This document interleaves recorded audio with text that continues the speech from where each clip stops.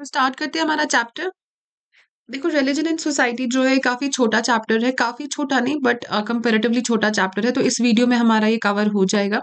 ठीक है तो do stay till the end देखते हैं chapter what this chapter has to offer तो इंडिया हमें पता है it is considered as a spiritual and the religious capital of the world क्यों? क्योंकि यहाँ पे डाइवर्स हैं एंड काफ़ी टाइम से इकट्ठे रह रहे हैं यूनिटी इन डाइवर्सिटी है ऑल कुछ केयस आपको मिलेगा इंडियन सोसाइटी में रिगार्डिंग रिलीजन जो हम इस चैप्टर में देखेंगे क्या क्या है। बट uh, ये जो केयस है इंडिया का religion wise that is manageable तभी इतने सालों से इतने सारे रिलीजन यहाँ पे इकट्ठे सर्वाइव कर रहे हैं। तो हम स्टार्ट करते हैं डायरेक्टली 2015 की एक रिसर्च है प्यू रिसर्च सेंटर सर्वे जिन्होंने कहा eight out of ten Indians जो हैं वो अभी भी ये बात that means twenty first century में मॉडर्निटी के टाइम पे बात अभी भी मानते हैं कि जो रिलीजन है इट इज़ वेरी इंपॉर्टेंट देखो रिलीजन हमारे लिए काफ़ी इंपॉर्टेंट रोल प्ले करता है एंड हर सेक्शन ऑफ़ सोसाइटी के लिए। जैसे मैंने कहा, इतनी मॉडर्निटी आई है मैरिज इंस्टीट्यूशन ले लो, कितना ज़्यादा चेंज हुआ है। अंबानीज की शादी देख लो बॉलीवुड की शादियाँ देख लो, ठीक है? इतनी मॉडर्निटी के आने के बावजूद जो रिलीजियस एस्पेक्ट है मैरिजेस का दैट इज़ स्टिल इंटैक्ट चाहे वो हिंदू मैरिज हो, यहाँ पे परफॉर्म हो रही हो सिख मैरिज हो मुस्लिम मैरिज हो, जो आपका रिलीजियस वैल्यू है उस मैरिज का दैट इज़ स्टिल इंटैक्ट इतनी मॉडर्निटी आने के बाद भी। तो हमारे कोर जो रिलीजियस एरियाज़ हैं कोर जो रिलीजियस ट्रेडिशंस हैं, उन पर ज़्यादा कोई इम्पैक्ट आपको नहीं देखने को मिलेगा। जो रिलीजन का एक रिलीजियस बिलीफ है, उसमें कोई चेंज नहीं आया है। हाँ देन रिलीजन का एक सेक्युलर एस्पेक्ट भी होता है उसमें आप चेंजेस देख सकते हो अप एंड डाउन लेकिन जो रिलीजन के कोर बिलीफ्स हैं, वहाँ पे आपको ज़्यादा चेंजेस देखने को नहीं मिलेंगी विच प्रूव्स कि अभी भी इंडिया के लिए रिलीजन काफ़ी इंपॉर्टेंट है। इंडिया जो है it is a home of some of the world oldest religion like Hinduism Jainism Buddhism आपको यहाँ पे मिलेगा न्यू सेक्ट्स एंड कल्ट्स यहाँ पे आपको देखने को मिलेंगे, ठीक है? क्रिश्चियनिटी जो है arrived in India in first century it कब? जब Saint Thomas came to India तो सेक्ट एंड कल्ट जो है, ये हमने पेपर ए में अच्छे से डिस्कस किया हुआ अगर किसी ने वो वीडियो नहीं देखा, वो वहाँ से वो वीडियो देख सकते हैं। क्रिश्चियनिटी कब आई जब आपके सेंट थॉमस जो है फ़र्स्ट सेंचुरी में दे केम टू इंडिया ठीक है तो एक्चुअली हुआ क्या, कैसे जब ब्रिटिशर्स यहाँ पे आए थे ब्रिटिशर्स के आने के बाद यहाँ पे कन्वर्जन एक्टिविटीज़ काफ़ी ज़्यादा होगी उन्होंने क्रिश्चियन मिशनरीज को यहाँ पे काफ़ी सेंड किया, ठीक है स्पेशली आपके नॉर्थ ईस्ट एरियाज़ में जहाँ पे क्रिश्चियनिटी स्प्रेड हो गई। लेकिन उससे भी पहले यहाँ पे क्रिश्चियनिटी कैसे आई थी? फ़र्स्ट सेंचुरी में ही आना शुरू हो गई थी, जब सेंट थॉमस जो थे, वो इंडिया आए थे। वो कौन थे अब he was one of the original twelve apostles of Christ जिनको बोला जाता है क्राइस्ट के बारह ओरिजिनल अपोजल्स थे। उनमें से एक आपके सेंट थॉमस थे। अपोजल कौन होते हैं? आपके जो डिसाइपल होते हैं, ठीक है? तो तो जीसस क्राइस्ट अलैहिस्सलाम के ये थे। आप उनके डिसाइपल्स बोल सकते हो। ओरिजिनल चार, बारह डिसाइपल उनमें से एक सेंट थॉमस थे। जब वो इंडिया आए तो यहाँ पे फिर ऐसे ऐसे क्रिश्चियनिटी थोड़ा बहुत लोगों को they came in touch with this religion also Islam आया इंडिया में around six fifty AD similarly आपके जो जोरास्ट्रियंस हैं, जिनको हम पारसीज भी बोलते हैं, वो कब आए इंडिया में? जब वहाँ के पर्जिया में इस्लामिक इन्वेजन हुआ तो they fled from Persia and they came to India ठीक है 2011 सेंसस के अकॉर्डिंग जो हिंदूज है, वो यहाँ पे मेजोरिटी रिलीजियस कम्युनिटी है that is 80 percent followed by Muslims which is 14 percent ठीक है? तो मुस्लिम्स यहाँ पे माइनॉरिटी में भी है एंड मुस्लिम्स यहाँ पे सेकेंड मेजोरिटी भी है इंडिया में. Other prominent religion communities are Sikh Buddhist Parsi Jains Christians Jews वगैरह, वो सब आपको इंडिया में मिलेंगे। एंड अलग अलग एरियाज़ में सारे कॉन्सेंट्रेटेड हैं। जैसे क्रिश्चियंस आपको मिलेंगे north east and southern states में। बुद्धिस्ट जो है which are once influential throughout northern India अपने हिस्ट्री में पढ़ा होगा। बुद्धिज्म के आने के बाद बुद्धिस्ट कितना ज़्यादा स्प्रेड हुआ था Buddhism but now they're confined to Ladakh Arunachal Pradesh Sikkim Darjeeling and Maharashtra जैसे एरियाज़ ठीक है? और भी यहाँ पे एक बात देख लो. वाइल जो मुस्लिम्स एंड क्रिश्चियंस हैं दे स्वेल्ड इन नंबर जैसे मैंने कहा फोर्टीन परसेंट जो है मुस्लिम्स अभी हैं करंटली और क्रिश्चियंस भी बढ़ गए. लेकिन क्योंकि वो उनका जो आउटलुक था, वो ओपन था. जैसे उन्होंने इंटर रिलीजन मैरिजेस भी यहाँ पे की हैं. उस वजह से भी वो बढ़ गए हैं। ठीक है? And then Muslims and Islam and Christianity में प्रोजिलिटाइजिंग का भी एक फैक्टर है कन्वर्जन का। कन्वर्जन की वजह से भी वो बढ़ गए। लेकिन जो पारसीज एंड ज्यूज हैं they mostly remain close net community Jews का खासकर वो काफ़ी कम रह गए हैं सॉरी पारसीज आपके, वो काफ़ी कम रह गए हैं क्योंकि वो अपनी कम्युनिटी के बाहर शादी करना पसंद नहीं करते। मतलब इन ब्रीडिंग उनकी चलती है मतलब अपनी ही कम्युनिटी में शादी की, अपनी कम्युनिटी में बच्चे, इस वजह से उनको जेनेटिक प्रॉब्लम्स भी काफ़ी हो रही हैं। तो इस रीज़न की वजह से जो पारसीज हैं, उनका नंबर काफ़ी ज़्यादा कम हुआ है हमारी कंट्री में। तो यहाँ पे ग्राफ थोड़ा देख लो।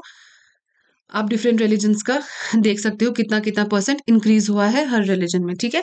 लेकिन आपके जो पारसीज एंड ज्यूज वगैरह है, उनमें नहीं हुआ है, वो कम हो गए हैं। तो रिलीजियस कम्युनिटीज इन इंडिया अब हम कॉन्स्टिट्यूशनली देखें तो इंडिया एक सेक्युलर स्टेट है। हमें सेक्युलरिज्म कहाँ से मिला है? हमारे प्रियम्बल से जो ऐड हुआ है forty second constitutional amendment act 1976 में। इसमें कॉन्स्टिट्यूशन को अमेंड किया गया था एंड सेक्युलरिज्म यहाँ पे ऐड किया गया था ठीक है? अब क्या इंडिया इस uh, 1976 से पहले सेक्युलर नहीं थी? तो ये बोलना सही नहीं होगा क्योंकि हमारा प्रियम्बल हमें पहले से फ्रीडम देता था।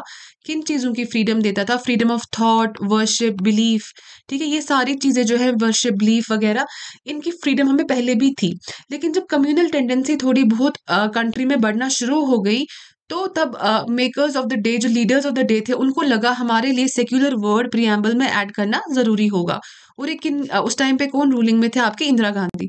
उन्होंने forty second constitution amendment act लाया था और सेक्युलरिज्म वर्ड ऐड किया था। ठीक है?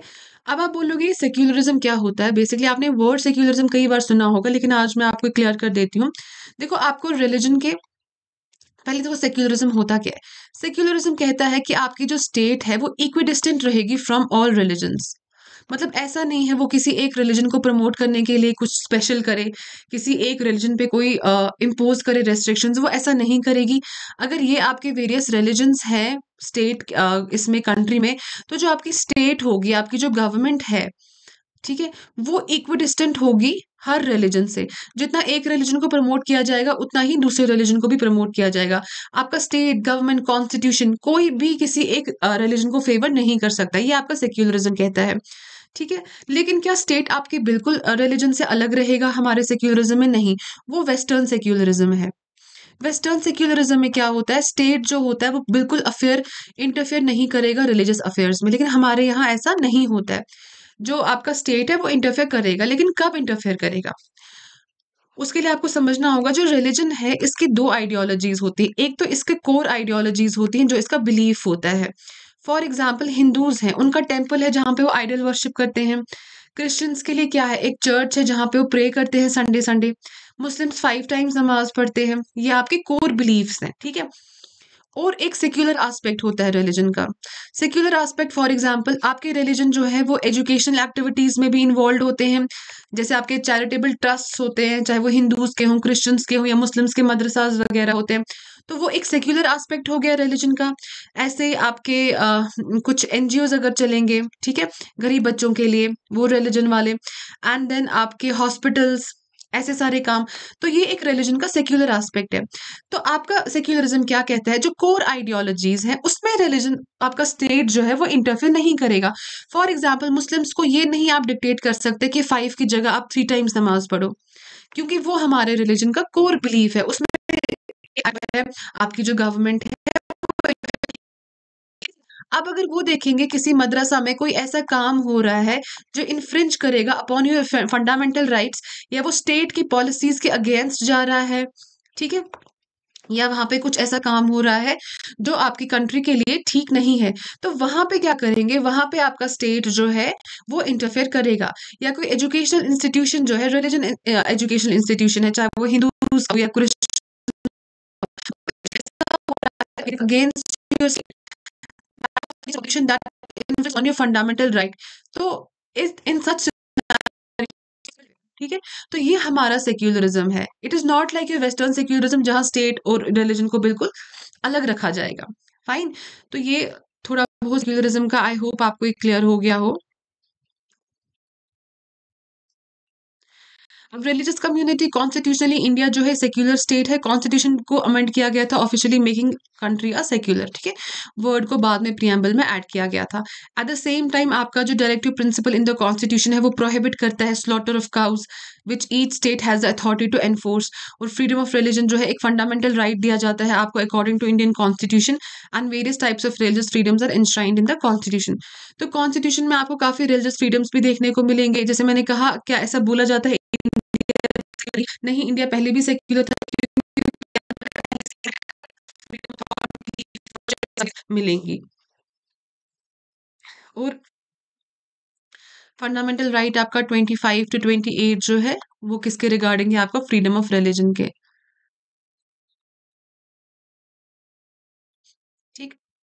अब different religious communities in India they have different cultures and features ये हमें पता है। कुछ उनमें से माइनॉरिटी है गवर्नमेंट उनको, उनकी पोजिशन को सही करने के लिए टाइम टू टाइम कुछ ना कुछ बेनिफिट्स उनके लिए स्कीम्स लेके आती हैं।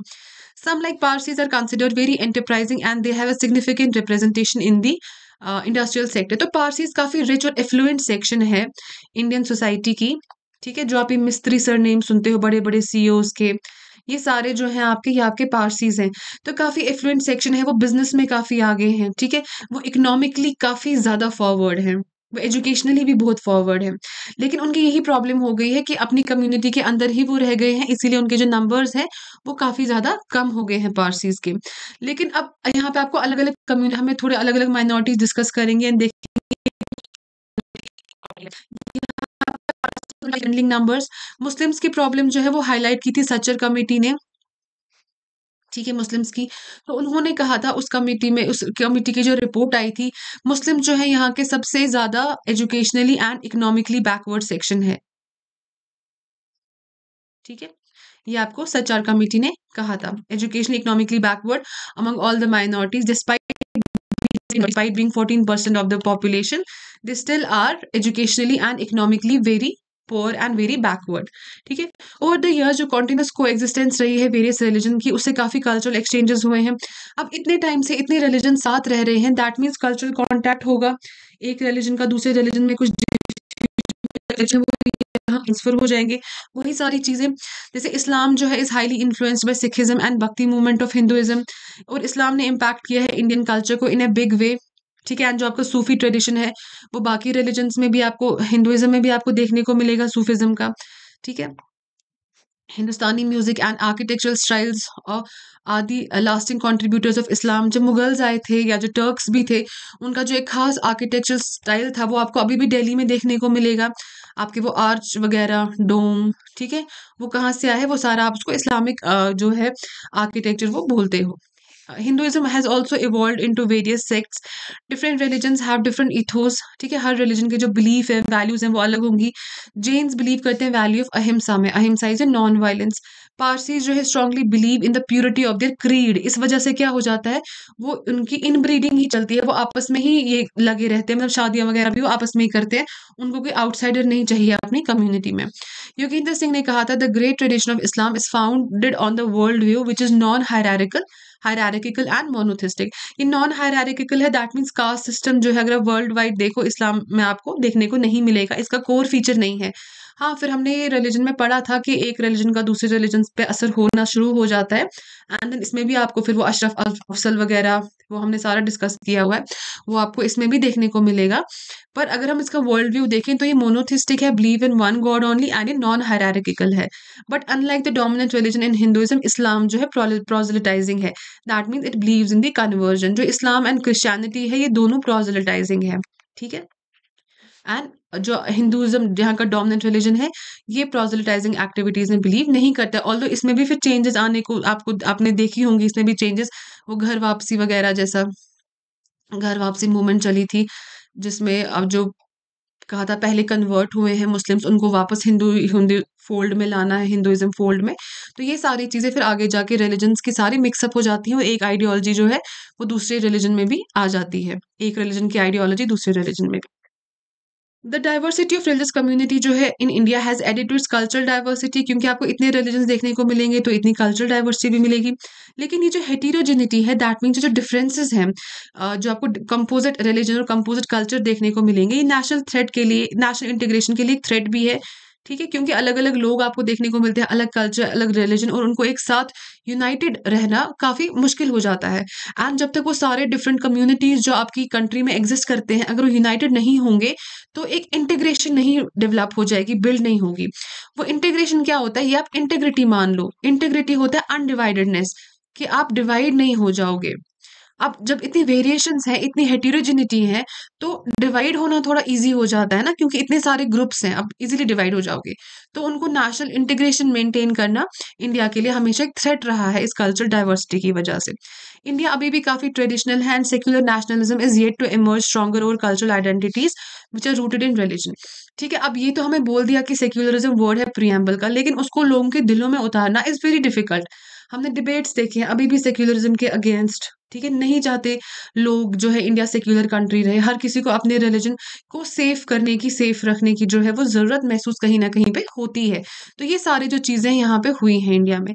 2017 में प्यू रिसर्च सेंटर स्टडी जो है India was has considerably scored very high on Pew research centre social hostilities index social hostilities index आपका जो दुश्मनी वाला इंडेक्स है, जो बताता है कितनी ज़्यादा ये जो है लोगों के अंदर ये सस्पिशन और ये एविलनेस जो है रिलीजन रिलेटेड प्रॉब्लम जो है सोसाइटी में, वो कितनी ज़्यादा है उसका स्कोर आपको सोशल हॉस्टिलिटीज इंडेक्स दिखाता है और ग्लोबल एवरेज उसका 1.8 है, लेकिन India had a score of 9.7 on the index that means काफ़ी ज़्यादा हाई है। वो जो ज़्यादा हॉस्टिलिटीज़ है इंडिया में, वो किसके अगेंस्ट है? अगेंस्ट लोकाज दलित्स के अगेंस्ट रिलीजियस माइनॉरिटीज़ के against including Buddhist Christian Muslims and Sikhs ठीक है, ये आपको प्यू रिसर्च सेंटर की स्टडी कहती है। हमने सुना होगा, बार बार डिबेट होता है कि यूनिफॉर्म सिविल कोड को लेके आओ। यूनिफॉर्म सिविल कोड क्या है? ये आपका आर्टिकल 44 में आता है of directive principles of state policy DPSP में। अब ये एक फंडामेंटल राइट नहीं है, ये डीपीएसपी है। That mean it is non justiciable आप इसको कोर्ट से एनफोर्स नहीं करवा सकते ज़बरदस्ती। ये बोल के कि आपके किसी भी फंडामेंटल राइट पे कोई ये जो है इन्फ्रिंज कर रहा है, ठीक है? तो ये क्या कहता है डीपीएससी बेसिकली यहाँ पे क्या होता है? हमारे अपने कुछ लॉज हैं जो हमें गवर्न करते हैं। जैसे मुस्लिम्स की अगर एग्ज़ाम्पल है मुस्लिम पर्सनल बोर्ड है, उनके जो मैरिटल रिलेटेड लॉज हैं, ठीक है डिवोर्स लॉज हैं तो वो उनके अपनी रिलीजन के लॉज चलते हैं। अब यूनिफॉर्म सिविल कोड क्या कहता है? एक ही लॉ लेके आओ, इस सिविल लॉज जो है वो सेम होने चाहिए अक्रॉस द कंट्री अलग रिलीजन्स को अलग लॉ गाइड जो है वो नहीं करनी चाहिए। ये चीज़ आप पढ़ लेना, यही सारी चीज़ें हम यहाँ पे लिखी हुई हैं, थोड़ा इसमें कुछ अगर फैक्ट भी आपको मिलेगा, ये मैंने आपको ओवरवे दे दिया यूसीसी का होता क्या है एंड पॉलिटी में आप इसको इन डिटेल पढ़ोगे। कम्युनलिज्म जो है, ये भी बहुत बड़ी प्रॉब्लम है इंडिया के लिए, इसको हमें सेपरेटली एक अलग चैप्टर में भी पढ़ना है, यहाँ पे थोड़ा बहुत देखते हैं। 2017 में Pew research centre survey almost four of four in ten Indian जो है उन्होंने कहा communal relation are a very big problem in their country and an addition thirty one percent name this as moderately big problem तो research के according लोग भी ये चीज़ें मानते हैं कि कम्युनलिज्म जो है, एक बहुत बड़ी प्रॉब्लम है। जैसे रिलीजन को पॉलिटिक्स जैसे कास्ट को पॉलिटिक्स यूज़ करती है। अपने बेनिफिट के लिए कास्ट पॉलिटिसाइजेशन होती है।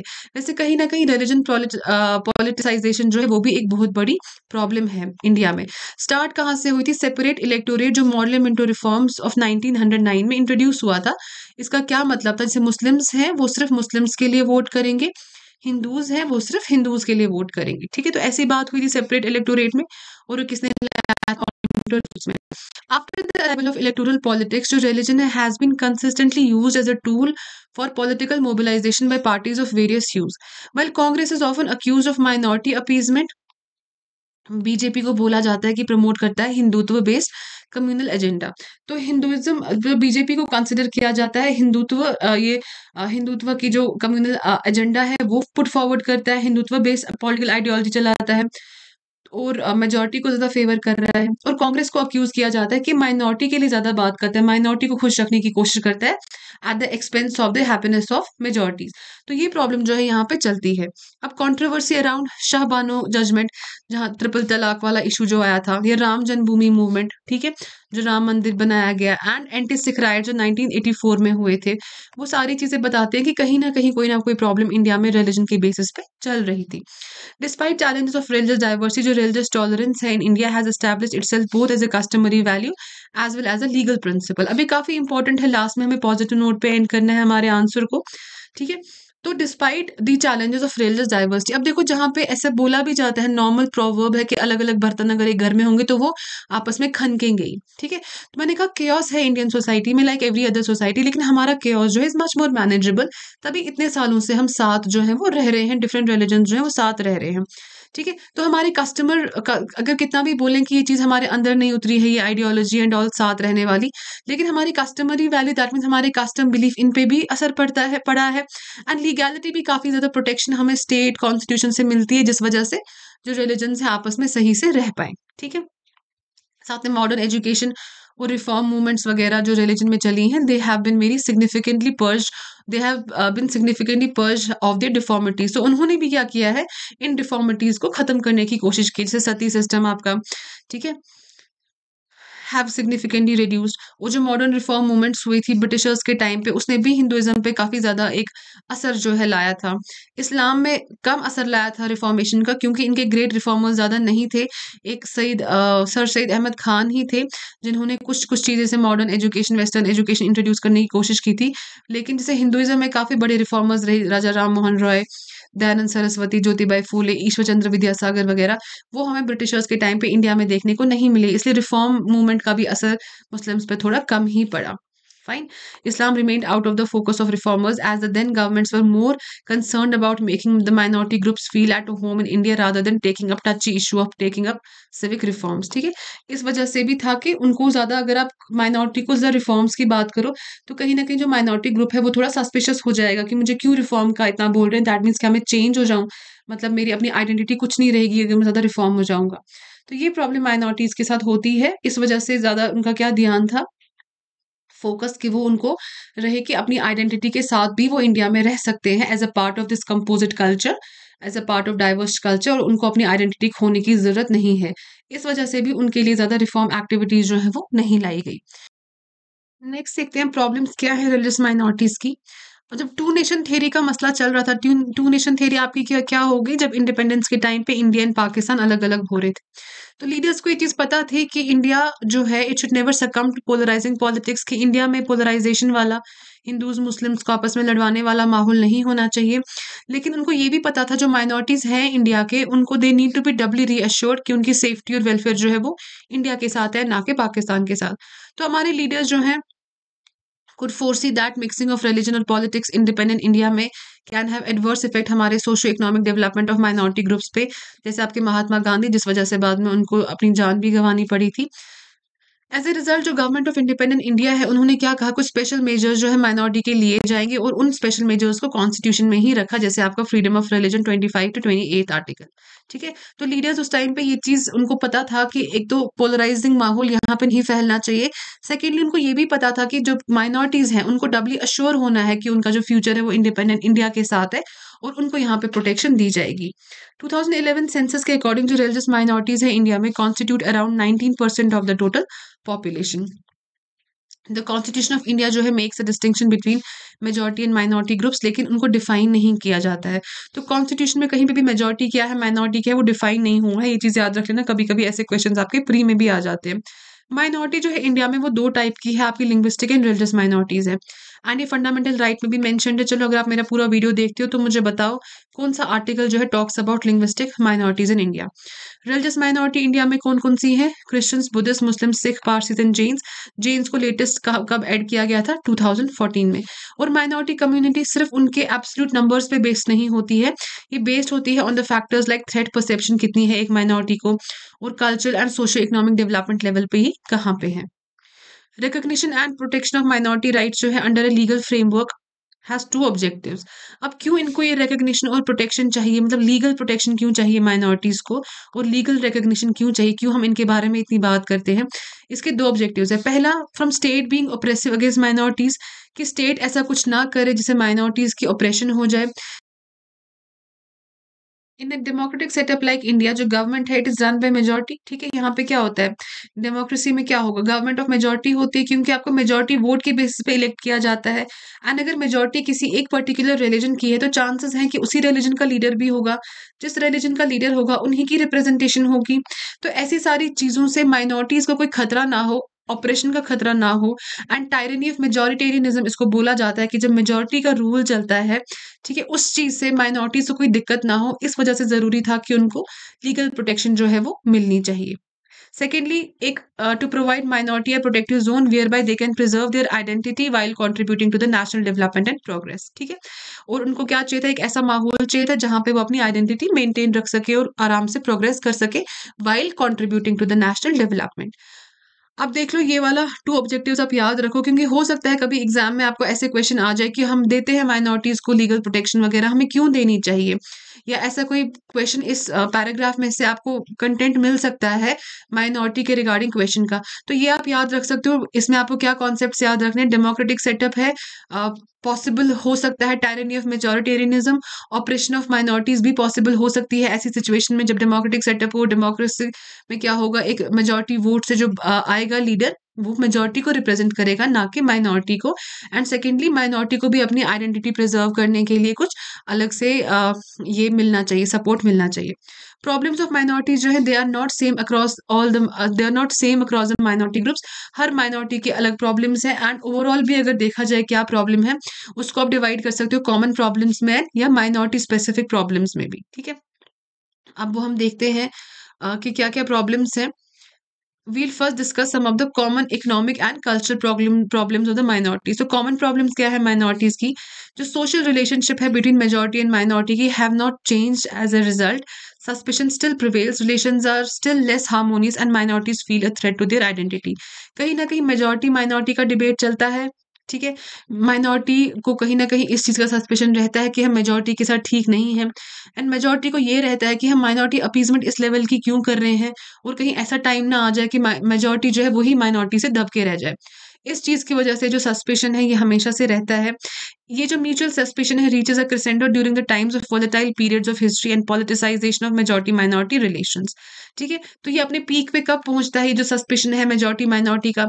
जब ऐसा कोई टाइम आ जाए, आपने दिल्ली में देखा होगा राइट्स जब हुए थे थोड़े बहुत, ठीक है? वहाँ पे प्रॉब्लम हो गई। एंड शाहीन बाग वाला केस जो था वहाँ पे मेजोरिटी माइनॉरिटी वाला इशू आ गया गुजरात में जो हुआ बॉम्बे राइट्स जो हुए वहाँ पे मेजोरिटी माइनॉरिटी वाला इशू आ गया ठीक है गोदरा इंसिडेंट्स या आपका फिर जो ये था राम जन्मभूमि मूवमेंट वाली जो कॉन्ट्रीब्यू कॉन्ट्रोवर्सी चली थी, इन सब ऐसे जो वॉलेटाइल मूवमेंट्स हैं, इन सब चीज़ों में ये जो सस्पेशन है, अगर ये कहीं ना कहीं एक लेटेंट हिडन फॉर्म में हो तो ये मैनिफेस्ट हो जाता है कि हाँ ये प्रॉब्लम सोसाइटी में चल रही हैं। तो हम इसमें डिस्कस क्या कर रहे हैं कि क्या प्रॉब्लम्स माइनॉरिटी को होती हैं। तो पहले कॉमन प्रॉब्लम्स पढ़ेंगे, फिर देखेंगे minority specific problems common problems में हमने क्या देखा? सस्पेशन वाला जो फैक्ट है मेजोरिटी माइनॉरिटी के बीच में वो रहता है। Fine secondly generally their representation public jobs में आर्म्ड फोर्सेज में अभी भी कम है, अगर हम डेटा चेक करें, ये भी एक प्रॉब्लम है। Due to historical factors and despite the enactment of suitable laws जो साइकोलॉजिकल इनसिक्योरिटी है स्टिल देयर क्योंकि जब मेजोरिटी किसी एक रिलीजन का होगा तो माइनॉरिटी को हो सकता है साइकोलॉजिकल इनसिक्योरिटी भी हो कि मैं यहाँ पे सेफ़ नहीं हूँ। नेहरू ने काफ़ी पहले एक बात कही थी कि test of Indian secularism lies not in what the majority thinks but how the minority feels इसीलिए इनको अक्यूज भी किया जाता है कांग्रेस को कि माइनॉरिटी अपीजमेंट करते हैं, क्योंकि ये बातें हमेशा माइनॉरिटी के ही फेवर में ज़्यादा बोलते थे।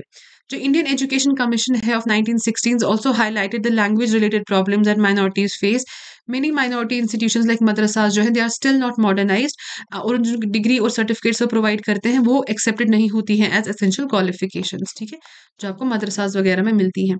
तो ये इशूज जो है कॉमन प्रॉब्लम्स आपके माइनॉरिटी ग्रुप्स के। Apart from various problems which cut across the minority groups there are certain specific problems of various religious minorities अब इनकी स्पेसिफिक प्रॉब्लम्स हम देखते हैं क्या है। मुस्लिम्स की मैंने आपको कहा सचर कमेटी रिपोर्ट उसमें क्या आया था कि ये मोस्टली एजुकेशनली बैकवर्ड भी हैं और एम्प्लॉयमेंट uh, में भी बैकवर्ड हैं ठीक है? इकोनॉमिकली भी बैकवर्ड है। तो सचर कमेटी रिपोर्ट जो थी उन्होंने तीन चीज़ें हाईलाइट करी थी मुस्लिम्स में कहा था इनको प्रॉब्लम है? आइडेंटिटी की सिक्योरिटी की एंड इक्विटी की। ठीक?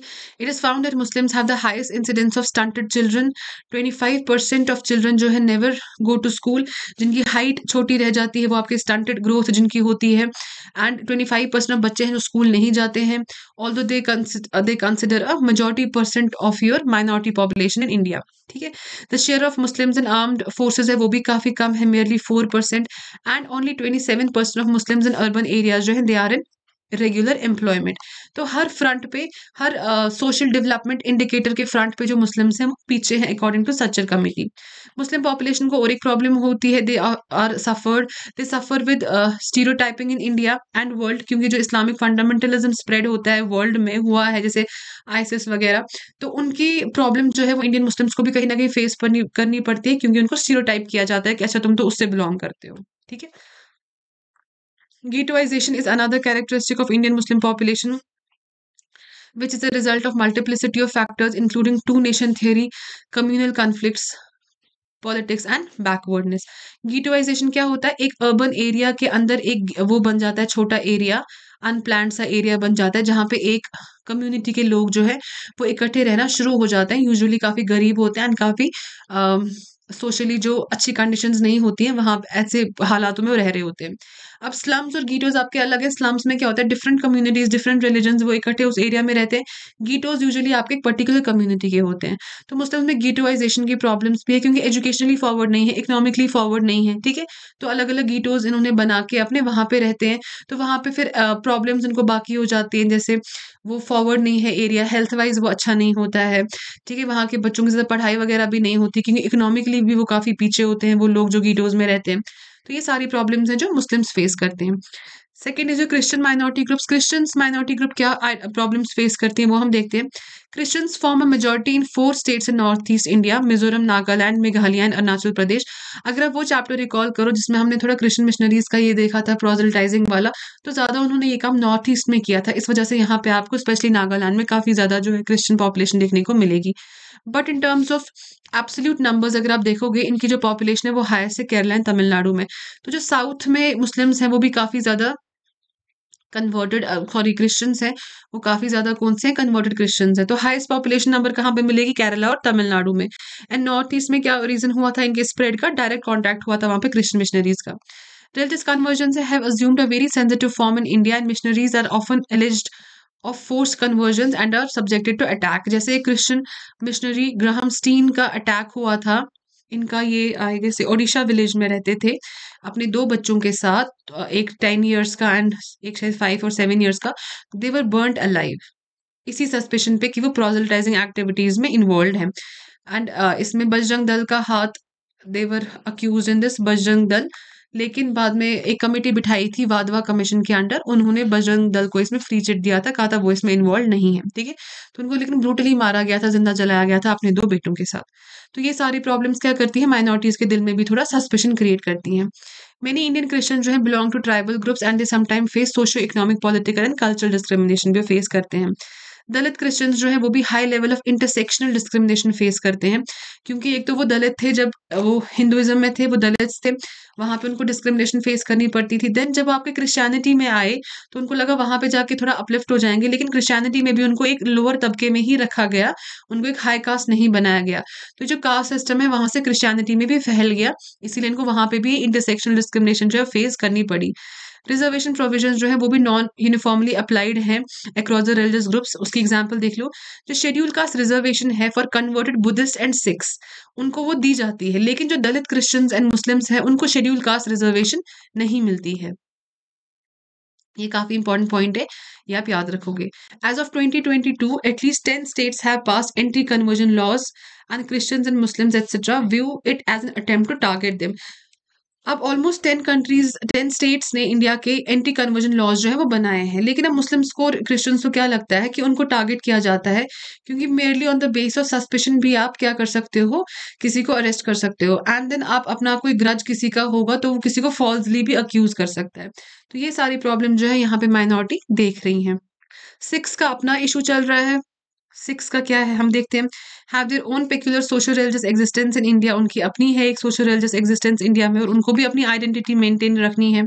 सिक्स जो है उन्होंने रिलीजियस परसिक्यूशन काफ़ी पहले से फेस करी है मुगल्स के टाइम से जब डेथ हुई थी महाराजा रंजीत सिंह की the Sikh empire disintegrated in India They faced an identity crisis, and after that, during most of the period of the British rule, their religious shrines were under control of Mahants, जो corrupt and mean थे ये आप history में पढ़ोगे ठीक है?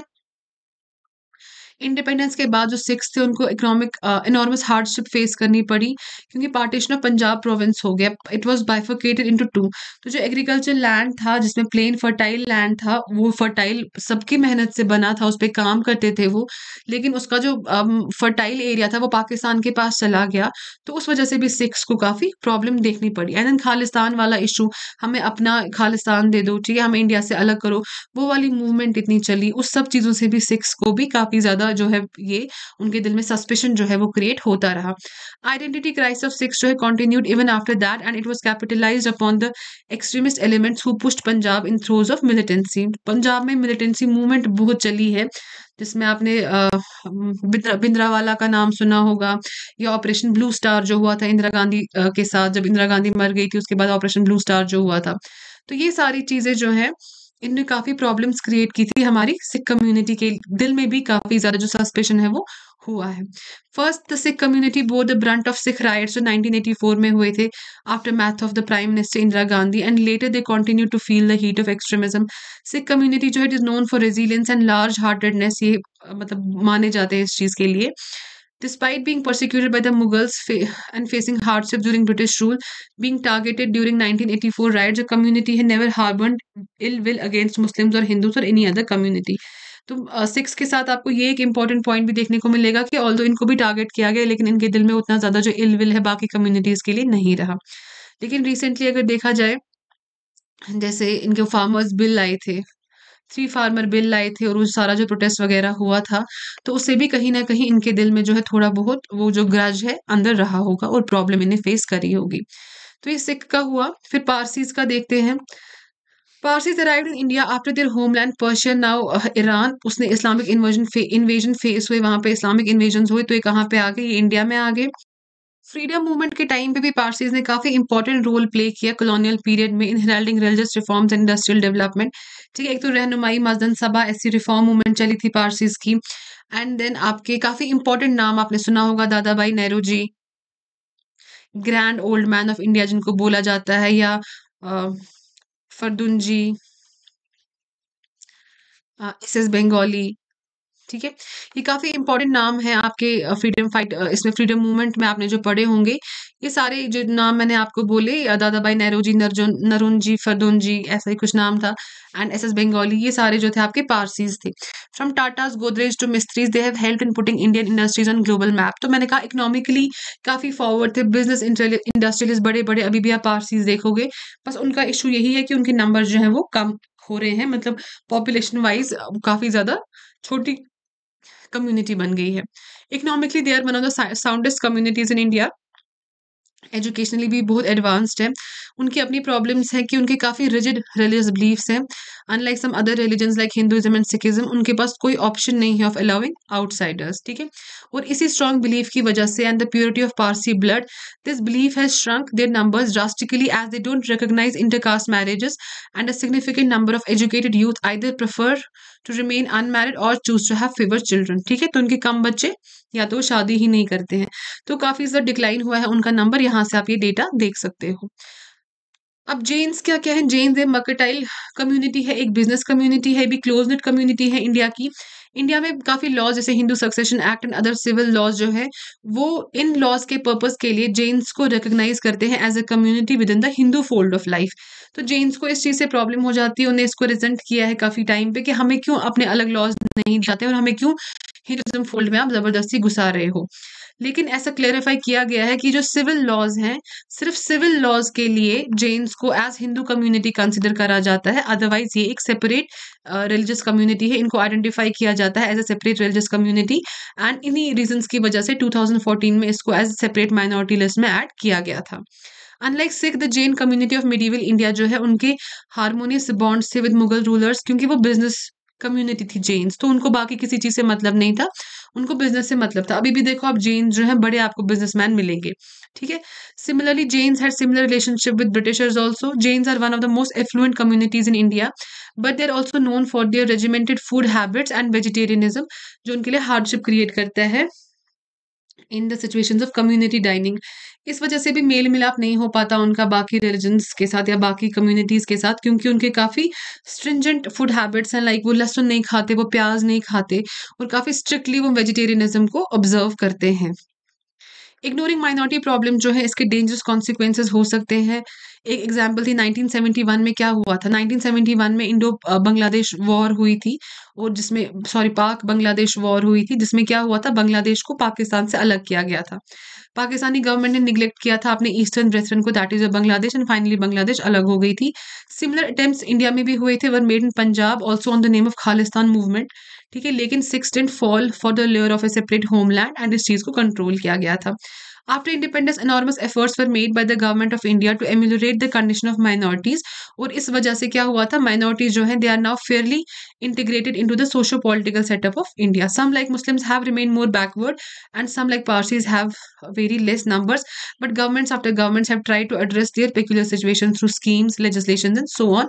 जो हम schemes वगैरह नीचे देखेंगे ठीक है तो पॉजिटिव नोट पे आपको पॉजिटिव कंक्लूजन अपने आंसर का बनाना काफ़ी ज़रूरी है काफ़ी कोर्ट जजमेंट्स रही हैं। They have underline the community should be declared a minority at the level of state but this is not followed in practice as majority of schemes benefits and declaration were made by the union government ठीक है? तो national commission act of minority 1992 ये empower करता है only the union government define करने के लिए what constitutes a minority and it led to the establishment of national commission for minorities in 1993 और later five religious minorities were notified in the same year तो इस act के according ये किसके पास पावर है? यूनियन गवर्नमेंट के पास पावर है। अदरवाइज़ हर स्टेट अपने लोगों को प्रॉमिस करेगी, तुम्हें माइनॉरिटी जो है ये मैं दे दूँगा।